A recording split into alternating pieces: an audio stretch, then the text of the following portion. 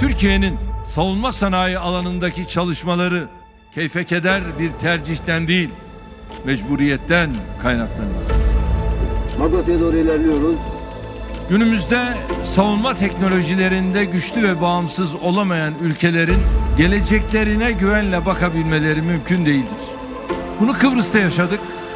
Muhabere sustu denildiği zaman da biz Kıbrıs'tan sonra Aselsan'ı kazandık.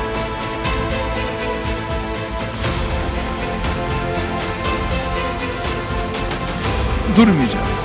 Dinlenmeyeceğiz. Gece gündüz çalışacağız.